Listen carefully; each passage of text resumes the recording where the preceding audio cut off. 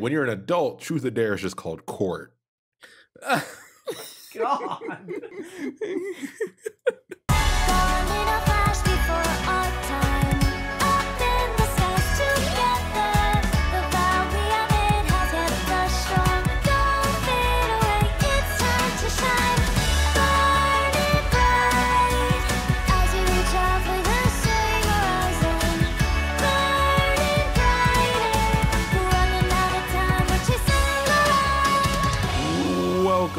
Casuals of Runeterra, part three of our Star Guardian special. I'm your host, Ryan, here with your other host, Hedge. Uh, part three of more to come to because boy are we getting some star guardian content now Listen, it's I think everyone in the League of Legends content creation community is dreading the amount of like the floodgates are open. So let's just get into it. Um housekeeping up top. Let's get out of the way. You can listen to us everywhere and we appreciate that. Uh, contact us at podcastcor at gmail.com and then you can visit us at podcastcor.com for all of our info. Uh, follow us on any platform you prefer. We're on most of them or all of them uh, and then leave us a like comment or a short review but the easiest way as we recommend is word of mouth. Tell a friend to do that thing they do by listening to the Casuals of Runeterra podcast. you did not I did. oh my goodness uh, so uh, with this being part three uh, obviously we just covered over our first uh, well the first big story in the star guardian universe uh, and we introduced a whole new team into uh, the world of star guardians. So no, instead of our original five members we got five more people to talk about. So uh, i'm going to steal ryan's thunder and say we're going to talk about some bios real quick. Who are these five new members well not members to the group but there's five new people of star guardians that we haven't seen yet? Yeah, yeah. So at this point, if you're here listening, you know, welcome.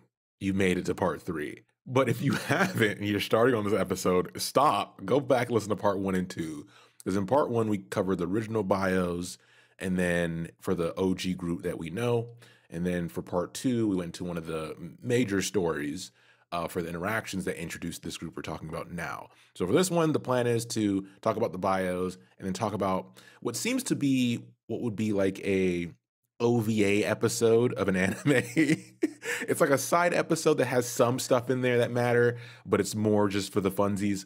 So we'll talk about that today, yeah and this then we'll is talk about what to come yeah in the next parts. it- ova is perfect because if like as far as like american media this would be like that tv like hour long special in between the seasons to be like hey what happened during this break and, and it's like oh they're just having fun oh wait there is some stuff happening that's important okay we gotta we gotta pay attention Yeah, yeah, it gives us some progress. But we're gonna go to the five girls, like um Hetch mentioned, five girls. I'll clarify that. Sorry, Ezreal. As they say in the story, oh, and you too, Ezreal. so we start with the leader of this group, which is Ahri. And as we found out in part two, uh, Ahri is a veteran, right? She's been around the block a couple times and she's done a couple battles. And we also get a faint hint that she has lost members in the past, which has kind of molded the Ahri that we get to see, where she's charismatic. People are naturally drawn to her, but she's kind of like Stone. She's not really, she doesn't mix words. She's very straightforward. And even though she would, you would think, oh, maybe she, there's a bubbly personality there. She's all business, right? She almost reminds me of like Poppy. yeah like much more like uh poppy as far as comparing it to the original five members um and the like with that like the direct quote from her bio that i think is like sums it up perfectly which is tough love is all that's left um so it's like yeah uh, almost like borderline cynicism at this point but with her magical medium, we have the spirit Kiko, um, which one look at the picture if you haven't pulled up these bios before because Kiko is adorable. Um, but Kiko is kind of almost like a foil to Ahri in essence because uh, Kiko is the embodiment of her charisma and sass. So the a lot of Kiko's mannerisms and actions around other Star Guardians is almost like flamboyant. Uh, like it's very outgoing and extroverted, despite the fact that no one but Ahri can understand Kiko. Uh, but it's very different from Ahri because again, Ahri's a you know grizzled veteran and she's just seen too much shit to care anymore. so uh, Kiko is kind of the foil to her in that regard. Yeah, and this kind of leads us into the next person who's also a veteran, which is Miss Fortune or Sarah Fortune, um, and she has kind of similar uh, traits about her, and this is kind of what make this is what makes it interesting because now we want to know what happened. because they're both like hardened veterans, like Hetch mentioned, and they have that part of Poppy that's very determined to get shit done. Um, but unlike uh, Ahri, Misfortune doesn't really have the charisma aspect. Everyone kind of just kind of stays away from her, right? Um, in the social situations we've had so far, she definitely has some heat to her. Uh, but she's just as determined as she is to do what they're meant to do. They don't like the flowery words like destiny and all that stuff, but they know what job needs to be done. The one aspect we get here, though, that's unique to this group is that she has kind of a wariness about Syndra and we'll get to Syndra towards the end, um, where she, because of them losing former teammates, the new teammates she gets, she doesn't really get as close to anymore. And Syndra being a very unique situation makes that even more so. So that's an inter- interesting dynamic here. Um, and instead of really chiming in on that, it's more of just like looking at the Syndra aspect because this is like for the case of our show, it's the second mention that we've got of a lot of doubt surrounding Syndra.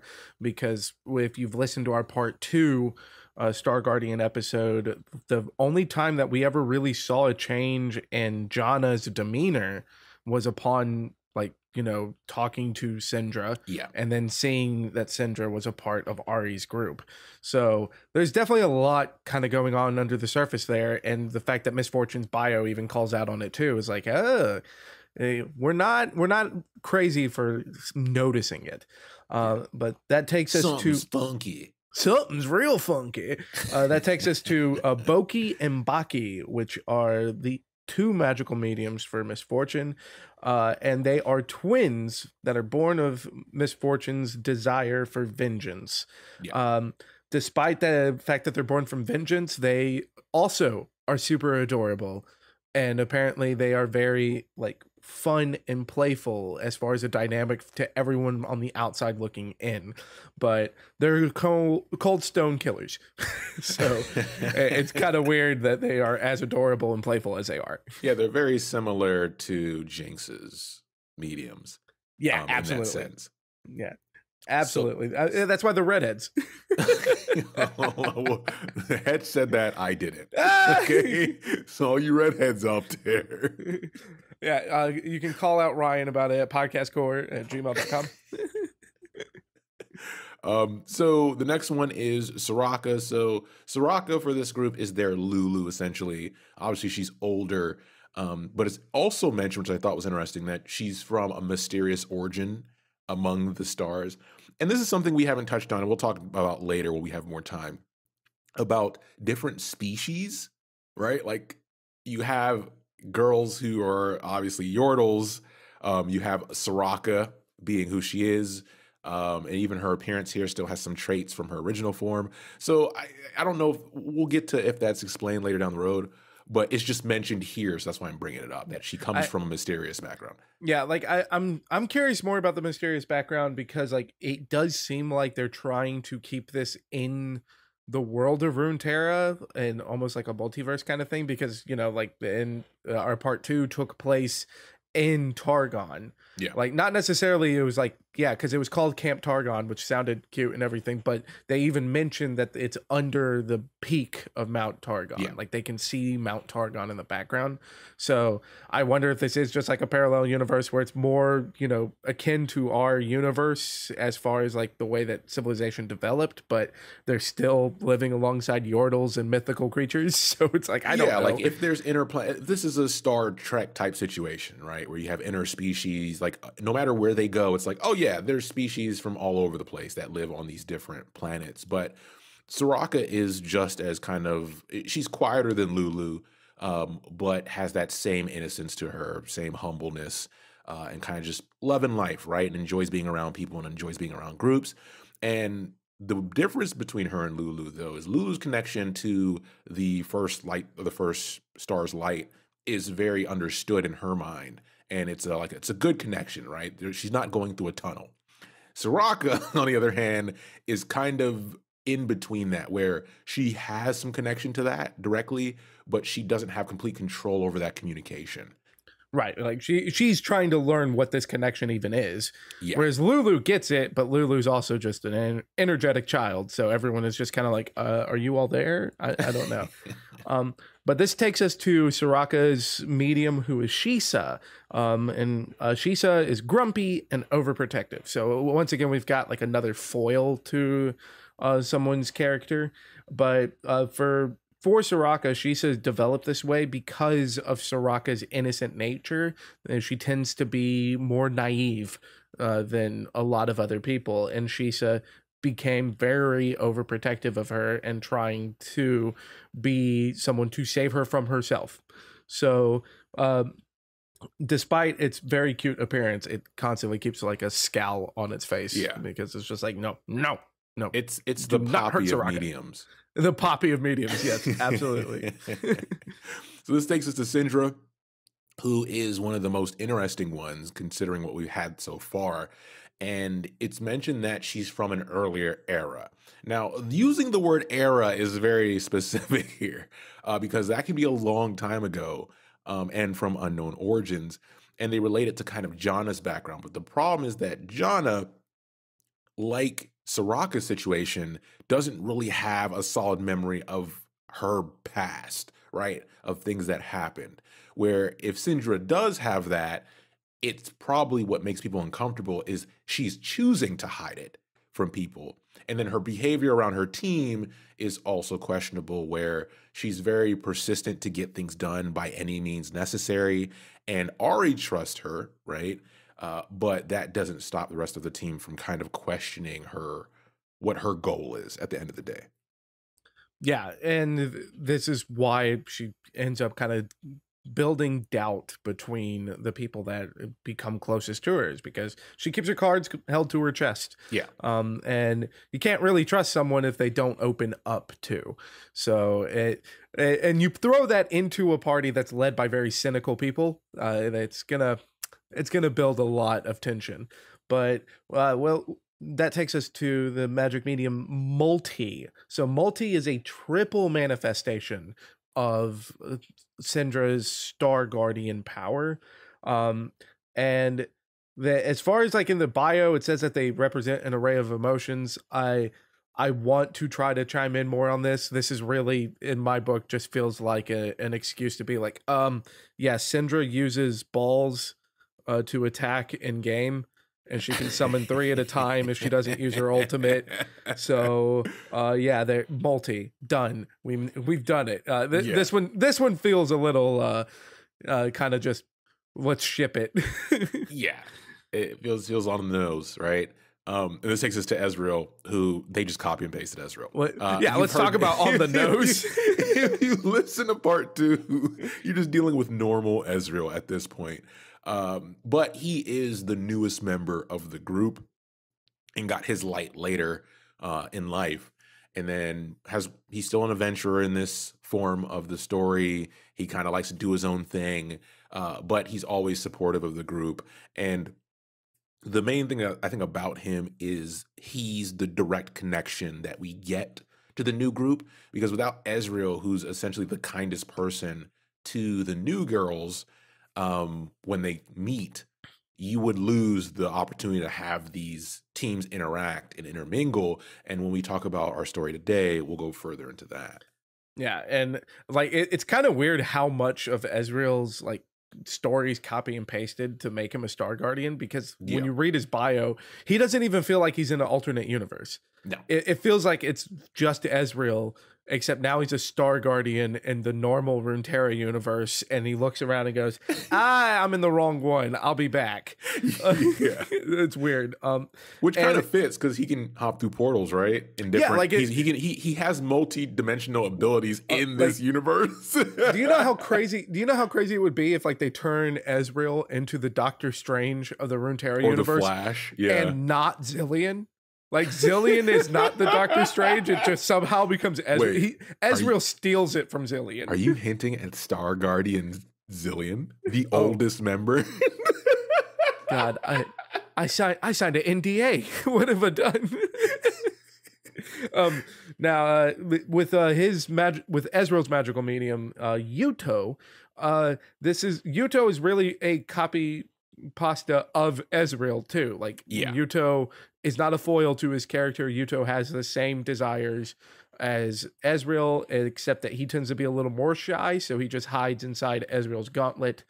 Um and but it is mentioned here that Yuto can fly and is often used as a scout, which is really weird that they decided to do this because it's like, oh well, that's a Quinn thing, yeah. both in bio and in gameplay, which would have been me fishing for an idea like a couple days ago.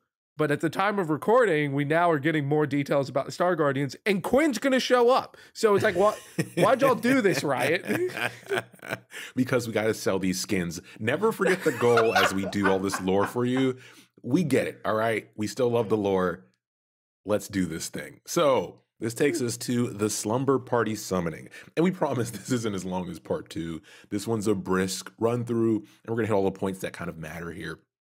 But as always, a good story in three parts. We start with part one, where the story starts with Lux slamming the front door in the faces of some of the other Guardian, uh, Star Guardian group. Uh, she doesn't really know why they're at the door, but she's panicking because we've established in the previous episode she has anxiety. We're just gonna say that she has anxiety. A hundred percent. and after she does that, she looks at Lulu, who's at her feet, and she's like, Why are they here? Panicking. And Lulu mentions, You said there was a Star Guardian Council meeting and it was mandatory. And she's like, Yeah, but for our group, like, we just met them. like I have control over my team, and now uh, like everything else, I'm constantly learning I don't have control over my team. so the last thing I need is more people. So Lulu obviously ignores that, excited, opens the door, and outside is an annoyed Miss Fortune, smiling Ezreal, and a quiet Soraka. And Lulu just goes and pulls them in and welcomes them to the Star Guardian sleepover party. Yay! And this is where we get, you know, again, we've mentioned OVAs from a lot of different animes. This is clearly the OVA setup of just like, yeah, uh, we are defenders of the galaxy. We save it from cosmic threats that are too big for humans to understand, but we want to have a slumber party. Yeah, So they're humans too. Yeah, who are humans too. I, absolutely. think I, we think they're humans. who knows? who, who even knows anymore? We're only in part three, okay? Maybe in part like 17, we'll be able to dig deeper.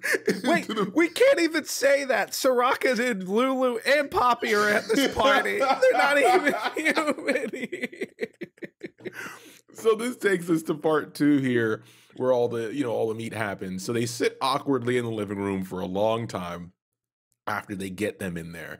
And then Ezreal's kind of the first one to break the silence which he's kind of the guy who can handle awkward situations the best. And he asks if there's something they do often right? Like do they do this to they always have sleepovers they always have these kind of gatherings?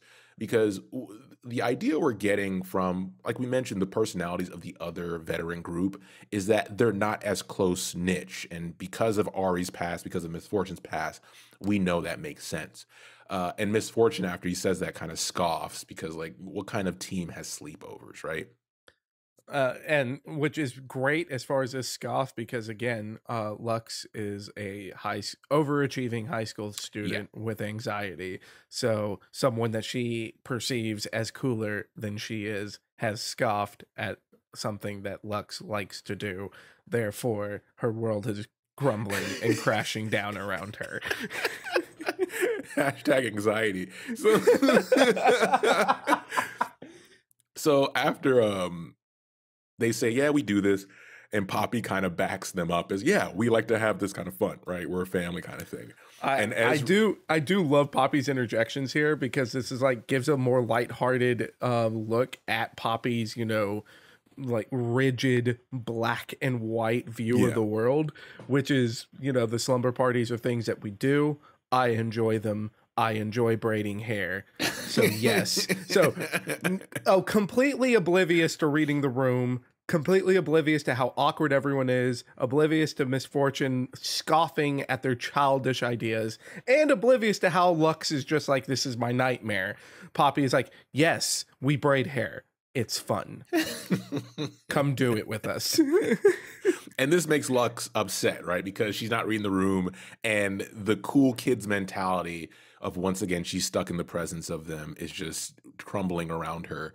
Uh, and now she has this in her thing in her mind where she's like, "Oh shit, they think we're homebodies, and homebodies are lame, right? We don't go out and have fun."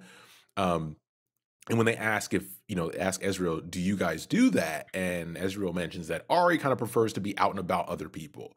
So that once again re, um, reinforces that she goes and does stuff, but not usually with the group. Right. And but uh, you know, Lux has anxiety. She can't actually she's not doesn't know these details because like we discussed in part 1, Ahri very much keeps Lux at arm's length because Ahri's aware that more Star Guardians means more problems. Yeah. So she she is not told Lux about her past. Lux has not told Lux about these dangers, and Lux is just trying to like grasp at all of this just from her own anxiety. So she doesn't get that that's why this is happening and that's why Ahri's so standoffish. She can only see it as Ahri's so much cooler than me and I'm Yeah. a loser and that's why I am not out and about with other people. Yeah. So Soraka kind of speaks up for the first time in I think every part we've done so far. but Yes. she asked, uh, is Jinx gonna be joining us? And then uh, you know, Miss Fortune gets some jabs in there about Jinx's behavior and demeanor. And then naturally at that point, that's Jinx's cue. She bursts through the door in being fashionably late, and she has a bag full of her mediums and a bag full of fireworks. And that's a problem because they're indoors. what what do you mean a problem? Like you say that's a problem because they're indoors. Jinx is like, you know, now they're contained so that we can actually get a front row seat to the explosion instead of wasting it a hundred feet in the sky. Yeah, uh, dude, I, I love how she enters and she's wearing sunglasses and Lux points out it's nighttime. Like it's it's not that it became dark as she got here. It's been dark the whole time. yep. I wear my sunglasses at night. well, and, and Lux mentions that Jinx likes to make an entrance. Like, what more way of an entrance can you make than showing up in the middle of the night wearing sunglasses with a bag full of fireworks? I, I think that covers all of your entrance spaces. Can't do it in your own home. Where can you do it? so Jinx shows up. She obviously it's kind of like record scratch, room stops as she walks in, and now she has all everybody's attention. That's something she likes. And you know, MF is kind of continues to point out how lame this is. She's on her phone doing her own thing. Uh, and then Lux tries to play it cool as if, well, you know, we don't have to do the slumber party thing. We can just do the meeting part because you guys are Star Guardians. We're Star Guardians. We're serious. You guys are serious. Let's have a serious meeting. And even that doesn't get her attention. Like she's still uninterested. And naturally, because Jinx is chaos, she suggested, hey, let's play an exciting game, which turns out to be Truth or Dare. Yep. Uh, which I mean, as far as with this, like that's kind of still in the vein of the slumber party thing, because uh, other members are showing that they do this often and that they have fun doing it. Yeah. But truth or dare is the perfect way to get you know hormonal high schoolers just on the edge of their seats and tense. So like this is this is something that does actually catch everyone's attention. So they you don't have to worry about Miss Fortune looking at her phone anymore, Lux. Just enjoy the anxiety of, oh God, what are my friends going to ask Miss Fortune? yeah, when you're an adult, Truth or Dare is just called court. God. which is just as anxious. But okay, so I digress. So she immediately says, "Okay, we're playing Truth or Dare." Goes to Ezreal, and she's like, "Okay, Truth or Dare." And he's like, "Truth," and she's like, "Do you like Lux?" Straight up, right? To make it as awkward as possible, kind of leaves him speechless. And then Janna actually butts in and just says truth as well, right? And the new referee comes to to play, which is Poppy. And because of course out, it is. Yeah. So Poppy's like, okay, well, it's it's his it's her turn to go, right? She has to answer a question. So Jinx is upset and she has to turn her attention. Um, or sorry, Poppy. Wait, so because like Jinx didn't even ask Ezreal truth or dare, and Ezreal did not respond.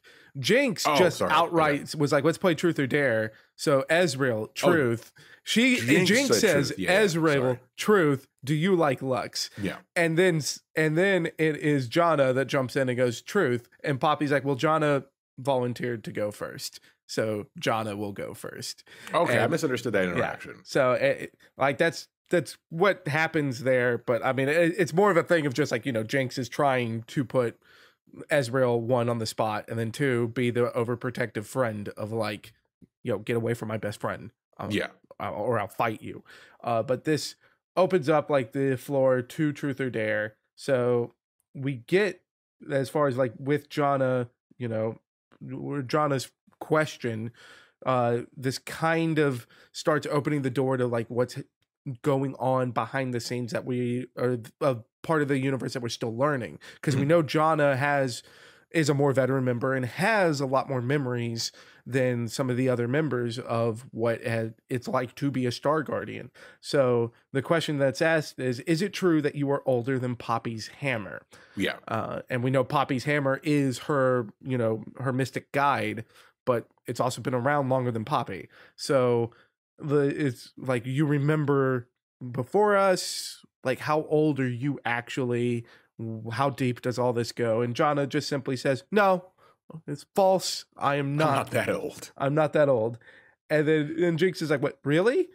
And, and then it's like oh no that's not how it works. You don't ask more questions. Cuts in poppy.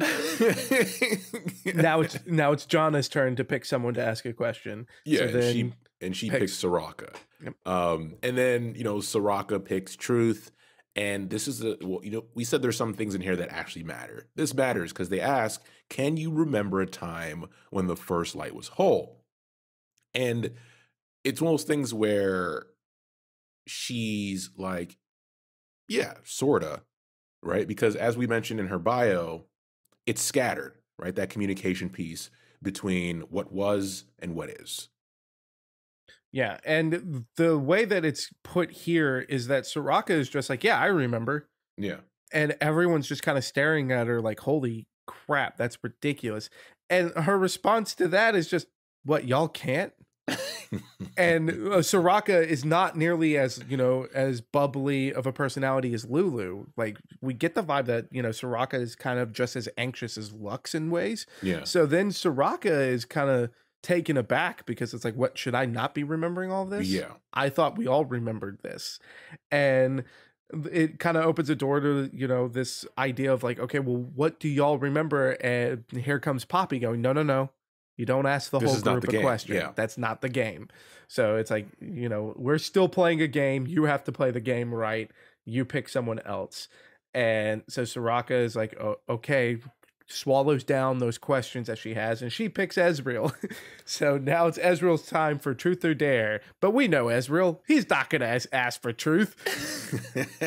Ezreal says dare, baby. It's time to change the pace. And just a quick thing on that whole interaction. So it's funny because remember, originally, Lux wanted to have a serious meeting. And during all these little parts of this game, there are serious questions being asked, but none of them are getting answered because that's not how the game works. yeah. So I can imagine that Lux is just like anxious ridden in the corner watching all this happen and just like, what the fuck? It, eh, I, I like to imagine it as like her kind of being like borderline neurodivergent of just like, of like, we're so close to getting what I want uh, which is answering these questions, but like no one's allowing these questions to be answered because of a stupid game. like and while also being like, but we're playing a stupid game, so that means they're going to hate us even more because we're not talking about the serious stuff. Ah, um, One thing Yes. we're going to hate though is Ezreal because he says one of the corny. Listen, we had some corny lines in part two. This, I think, beats it, and I don't know what we're going to have in part four. But Um, as they're going back and forth, and it's Ezreal's turn, he kind of lays back, puts his arms behind his heads, and he says, "Ladies, please, there's enough adventure to go around." Now, listen to me, writers. You didn't have to do this. There is somebody who your editor saw this, unless you edited it yourself, which I don't approve of. but that is a ridiculous line. Oh god, he, I, I There's mean, it's enough adventure to go around. it- it's even funnier because it's also just like it's not that good of a line, and it's clearly just to be like, well, this is how Ezreal talks Mhm. because it's like, who needs a map? Um, so Ezreal's not going to say there's enough of him to go around. He's going to say enough adventure because he's an adventurer, and it's just like, oh god, stop. Um, but yeah, uh, we get to Ezreal picking Dare, and Soraka dares Ezreal to do that thing you do, yeah. and uh, of course, which you know gets an eyebrow from everyone else, and, and it's like, oh, and Ezreal's then like, what thing I do? I do a lot of things. I, I breathe. I I talk, and it's like, oh, you know, the thing with the portal, and Ezreal's like, oh yeah, cool, I could totally do that, and that's when he gets his backpack, pulls out his gauntlet, and says, hey buddy, it's time to wake up, Yeah. and we get Yuto, his familiar, popping out, and They do a fusion Ezreal- dance. yeah, Ezreal and Yuto do uh, the Dragon Ball fusion dance. Uh, so, in using a portal, Ezreal creates the illusion that you know him and Yuto have become one being, and he's got wings, and then uses a portal to blip over Lulu's head to grab a paper fortune teller out of her hands, and then reappear back where he was with the paper fortune teller. So you know as far as the way that it's written out this is a very like this is a very um kind of parlor trick scene you know it's meant to be very innocent and very simple but this whole time that we've been playing this game lulu's been in her own world counting out the paper fortune da- teller Yeah. as far as with the number that miss fortune picked which was a ridiculously high number like in the 200s or something and we know that Lulu is a very one a very whimsical being, but all, two very connected to all this cosmic yeah. world around them. And so not only does she have this fortune maker, Lu- Ezreal takes it from Lulu, the most connected member to the first star, through a portal. Yeah, you remember? Oh, so if you've listened to our Annie episode, we talked about magic leaking and magic interacting with each other. So it, you know what we're getting at with that statement. But the one thing I want to mention as well with him sprouting the wings, that kind of gives us an explanation. So in part two, there's a scene where he throws Lux up in the air, right? And we're wondering how did he do that? Well, it's because he can do this wing move with his familiar. Um, and that was cool to see them integrate that here, right? One of the small things that matters. But when he grabs it from her, takes it through the portal, and opens it to finally reveal the fortune, it says, Only in darkness can the light shine brightly. And they're asking, Where did you hear that? Because the previous one he opened, Poppy made it known that that was from a fortune cookie. so where'd you get this one? And she says that the first star told her that that was important. And that kind of fits, obviously, the lore we've been telling you about light versus darkness. Yeah. And it also goes back to the conversation that they, well, the game they were playing with Soraka mentioning that she still has memories of that. Yeah. So the uh, the veteran members kind of look at Lulu, and they kind of chime in that uh, you know it's like, hang on a second, this is connected as far as like to Soraka. You know, still remembering those memories, and we do not have any direct access to the first star. So this is Lulu's reveal to the veterans that she does still commune with the first star. And the when they're trying to get an idea of like, hey, um, like you still talk to the first star.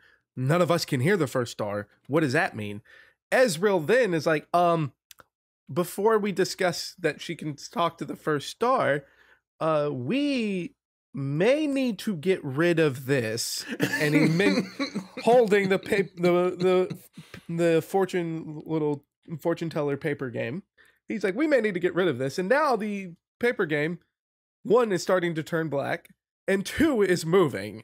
Yeah. And then everyone is now putting together like, oh right, he went through a portal to someone who is connected directly to the first star. and then it's like, did uh, I I like the uh, the question that Jinx says is, did you bring an annoying interdimensional hitchhiking demon into Lux's living room using your not a portal portal power? it. Ezreal, I might have. and it's funny because he also mentions that he may have done this before. And when he says before, he means like six or seven times. So he knows something was going to go wrong, but he couldn't help himself with the dare. And immediately we have somebody snap in action, which is Poppy goes to try to smash it, and she ends up just destroying the coffee table instead, uh, but misses it completely. And then Janna begins using wind magic indoors. Remember, we have fireworks, we have guns, we have wind, we have magic, we have portals. This is all happening inside of a house. That is bad. It's not where you do these things. Yep, and this is like now becoming a thing where you've got like essentially a bunch of trained interdimensional demon killers all chasing a very tiny little demon inside of a living room with very very strong superpowers. And so we've got this chaotic scene going about while everyone's using these giant weapons to try to destroy a mosquito Yeah. and it ends in this quick little stare down of Lux and Miss Fortune, with Lux staring down the barrel of one of Miss Fortune's guns, and Miss Fortune's like, "Time to say goodbye," and Lux is now just like one all the anxiety that it Oh was yeah, she's still in hell. up- She's in hell this whole time. all the anxiety that was building up for her is like oh this is why it was building up because they're destroying my house now and i'm about to die because i'm staring down a gun and she's saying time to say goodbye and with a loud pop like a pop of a balloon uh, the paper fortune teller just explodes into confetti as miss fortune shoots it and kills it.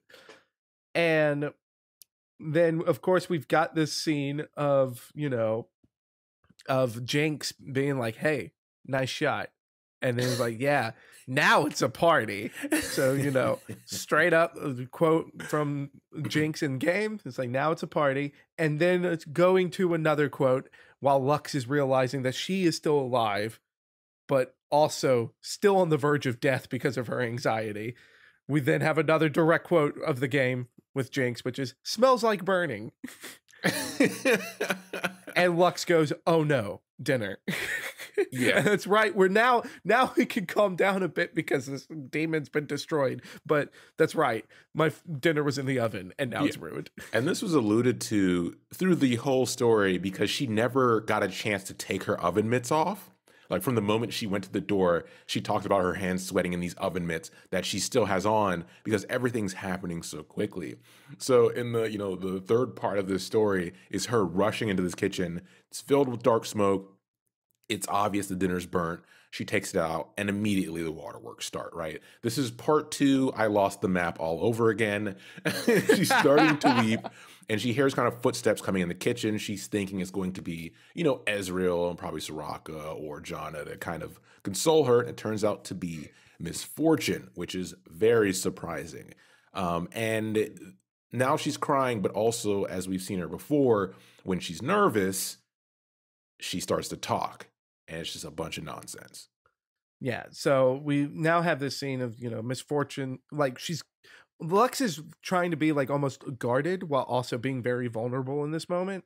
And then it's like, okay, well, I I've got to say something. So the rambling starts with, you know, I'm so sorry that Lulu dragged you into this. I'm sorry that dinner got ruined. Yeah. Uh, and I, I totally get it. If you want to leave, I, if you never want to see us again, I understand that too. Blah, blah, blah, blah. And then Miss Fortune. Build those walls. Build Yeah. those walls. Build those walls. uh, Miss Fortune doesn't say anything. Miss Fortune's just kind of staring at her like, uh, you know, let her let her get it out. Yeah. And Lux realizes, oh God, I'm rambling. And she goes, so then she's like, uh, Fortune. And this is where we get the first time that Miss Fortune tells Lux, my name's Sarah. You can call me Sarah. And it's like, I thought Sarah was for friends. And with that statement, Miss Fortune, who had been playing on her phone for most of this time, gets a text message on her phone, but deliberately puts it away in her pocket to have a conversation with Lux.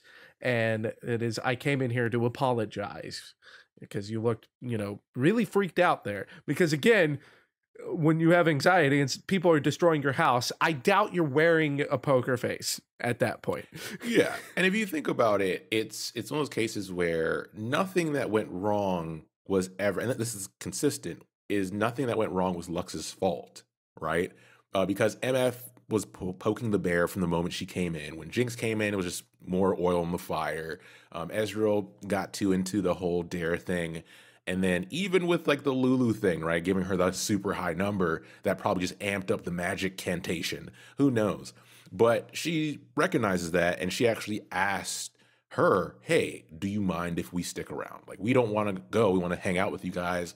Ezreal's kind of upset because he thinks, you know, he messed up things. So he went ahead and ordered pizza. And Soraka's having a great time. Like towards the end of this story, we see her being more talkative and involved. And from previously, you, you would never expect that from her character. Like she's having a good time as well. So it's working out. Can we stay? And that kind of shocks her. Yeah. Um, and and obviously, Lux wants them to stay. and we get we also get like you know a nice thing here because Miss Fortune hits a point where she starts rambling. Yeah. And so then it's like, you know, Lux, you're not you're not crazy, Lux. You're you're not crazy. You're just riding those emotions very hard. You're just human. but Or you're just are hu- you? Don't know. We still don't. Yeah. Oh my God. I can't wait for the reveal that they're just none of them are human. They're all um, androids.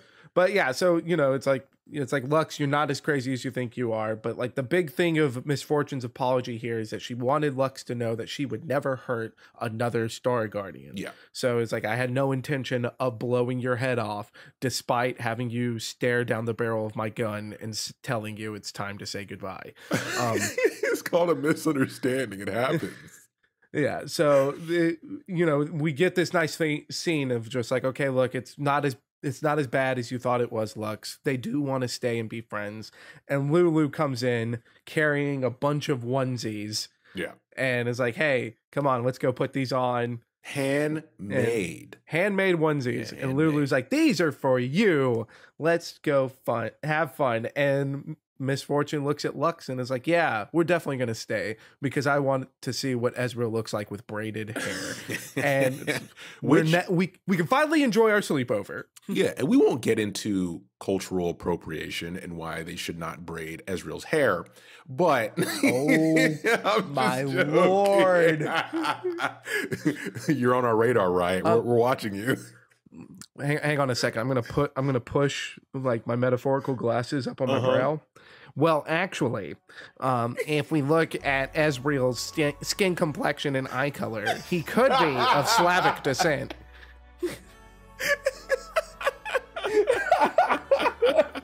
We're gonna get canceled We're gonna get canceled. over the slumber party episode. I know, right? But yeah, that's the episode. Um, that's the story as well, right? It kind of wraps up there, and this, this is a nice, fun kind of break in things because it's going to get serious past this point because we're gonna start to get like, if you thought we were getting content now, this is all just the intro. Yeah, this is the tip of the iceberg, uh, but that's why we wanted to try to touch on this really quick uh, with really the quick, bios. quote unquote. Well, I, I mean, this is a longer episode, but we talked about the bios of five members on top of it. Yeah. So in, in in the big scheme of things, we touched on it quickly, uh, but you know we we're not going to put out a short episode. We don't do that here. We, we go hard. so with that, um, if you've stuck around this long, there will be a part four, and it will be coming very soon. So make sure you hurry up and listen to this one, which is me telling you at the end of the episode. But as always, thanks for listening, and we'll be back soon with the next Star Guardian episode.